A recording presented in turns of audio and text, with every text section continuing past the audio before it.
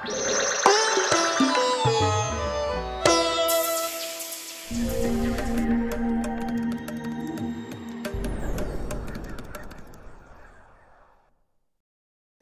ಮಕ್ಕಳೇ. Hi sir ಈಗ ಗಾಳಿಗೆ ಸಂಬಂಧಪಟ್ಟಂತಹ ಒಂದು ರೋಮಾಂಚನಕಾರಿಯಾದಂತಹ ಪ್ರಯೋಗವನ್ನು ನೀವು ಮಾಡ್ತೀರಾ? ಮಾಡಬೇಕಾದಾಗ ಎಚ್ಚರಿಕೆಯಿಂದ ಅತಿ ಸೂಕ್ಷ್ಮವಾಗಿ ನೀವು ಎಲ್ಲ ಬದಲಾವಣೆಗಳನ್ನು ಗಮನಿಸ್ಕೊಳ್ಬೇಕು. ಪ್ರಯೋಗದ ಕೊನೆಯಲ್ಲಿ ಒಂದು ವೈಜ್ಞಾನಿಕ ಸತ್ಯ ನಿಮ್ಗೆ ಅರ್ಥವಾಗುತ್ತೆ. ಅದನ್ನು ನೀವು ನನಗೆ ತಿಳಿಸ್ಕೊಡ್ಬೇಕಾಗತ್ತೆ. ಸರಿ ಸರ್. ಸರಿನಾ? ಈಗ ಪೂರ್ಣಿಮಾ ಸ್ವಿಚ್ ಆನ್ ಮಾಡು. ಫ್ಯಾನ್ ತಿರುಗ್ತಾ ಇದೆ ಸರ್. ತಿರುಗ್ತಾ ಶಬ್ದ ಬರ್ತಾ ಇದೆ ಸರ್. ಶಬ್ದನೂ ಬರ್ತಿದೆ ಫ್ಯಾನ್ ಕೂಡ ತಿರುಗ್ತಾ ಇದೆ. ಹೌದು ಸರ್. ಅಲ್ವಾ? ಹೌದು ನಿಂತು.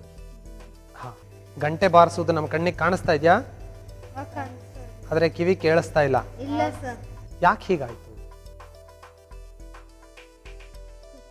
ಗೊತ್ತಿಲ್ಲ. ನೋಡಿ ಒಂದು ಸಂದರ್ಭದಲ್ಲಿ ನಿಮಗೆ ಶಬ್ದ ಜೋರ ಕೇಳಿಸ್ತಾ ಇತ್ತು ಫ್ಯಾನ್ ಆ ನಂತರದಲ್ಲಿ ನಿಧಾನವಾಗಿ ಕಡಿಮೆ ಆಯಿತು ಸಂಪೂರ್ಣವಾಗಿ ಕಡಿಮೆ ಆಯಿತು. ನಂತರದಲ್ಲಿ ಪ್ರಾರಂಭ ನೋಡಿ ಈ ಒಂದು ವ್ಯವಸ್ಥೆಯಲ್ಲಿ ನಾವು ಒಳಭಾಗದಲ್ಲಿರುವಂತಹ ಗಾಳಿಯನ್ನು ನಿರ್ವಾತ ಮಾಡ್ತೀವಿ.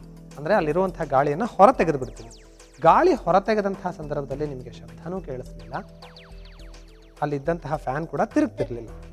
ಅದೇ ಗಾಳಿಯನ್ನು ನಾವು ಒಳಬಿಟ್ಟಾಗ ಮತ್ತೆ ಶಬ್ದ ಕೇಳಿಸೋದಕ್ಕೆ ಪ್ರಾರಂಭವಾಯಿತು.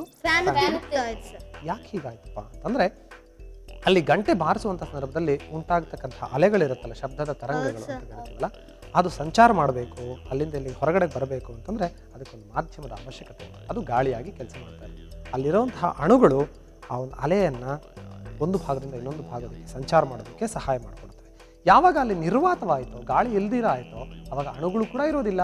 ಅಣು ಇಲ್ಲ ಅಂತಂದ್ರೆ ಅಲೆ ಕೂಡ ಸಂಚಾರ ಮಾಡೋದಿಲ್ಲ. ಹಾಗಾಗಿ ನಮಗೆ ಶಬ್ದ ಕೇಳಿಸಲಿಲ್ಲ. ಆದರೆ ಗಂಟೆ ಬಾರಿಸೋದು ನಮಗೆ ಕಣ್ಣಿಗೆ ಕಾಣಿಸ್ತಾನೆ ಇತ್ತು. ಅಲ್ವಾ?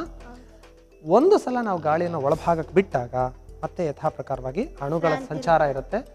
ಅಲೆ ಕೂಡ ಚಲಿಸುತ್ತೆ. ಹಾಗಾಗಿ ನಮಗೆ ಶಬ್ದ ಕೇಳಿಸೋದಕ್ಕೆ ಪ್ರಾರಂಭವಾಗುತ್ತೆ ಅಲ್ವಾ? ಇದರಿಂದ ಈ ಪ್ರಯೋಗ ಮಾಡಿದ್ರಿಂದ ನೀವು ಅರ್ಥ ಮಾಡ್ಕೊಂಡಂತಹ ಅಂಶ ಏನು? ಶೂನ್ಯದಲ್ಲಿ ಶಬ್ದ ಇರಲ್ಲ ಸರ್. ಶಬ್ದ ಪ್ರಸಾರ ಆಗಲ್ಲ. ಸರ್ ಶೂನ್ಯದಲ್ಲಿ ಶಬ್ದ ಅನ್ನೋದು ಪ್ರಸಾರ ಆಗಲ್ಲ. ನಮಗೆ ಶಬ್ದ ಪ್ರಸಾರವಾಗಬೇಕು. ನಾನು ಹೇಳಿದ್ದನ್ನು ಆಕೆ ಕೇಳಿಸ್ಕೊಳ್ಬೇಕು ಅಂತಂದ್ರೆ ಮಧ್ಯದಲ್ಲಿ ಯಾವುದಾದ್ರೂ ಮಾಧ್ಯಮದ ಅವಶ್ಯಕತೆ ಇರುತ್ತೆ ಅದು ಗಾಳಿ ಮಾಧ್ಯಮವಾಗಿ ಕೆಲಸ ಮಾಡುತ್ತೆ. ಸರಿ. ಈಗ ನಾವು ಚಂದ್ರನ ಮೇಲೆ ನಿಂತಿದ್ದೀವಿ ಅಂತ ಅನ್ಕೊಳ್ಳೋಣ. ಇಷ್ಟೇ ಹತ್ರದಲ್ಲಿ ನಿಂತಿದ್ದೀವಿ ಇಷ್ಟೇ ಜೋರಾಗಿ ಮಾತಾಡ್ತಾ ಇದ್ದೀವಿ ಅಂತ ಅನ್ಕೊಳ್ಳೋಣ. ಮಾತಾಡೋದು ಕೇಳಿಸುತ್ತಾ? ಇಲ್ಲ ಸರ್. ಕೇಳಿಸುತ್ತಾ? ಇಲ್ಲ ಸರ್. ಯಾಕೆ ಹಾಗಾಗತ್ತೆ? ಅಲ್ಲಿ ಗಾಳಿ ಇರಲ್ಲ ಸರ್.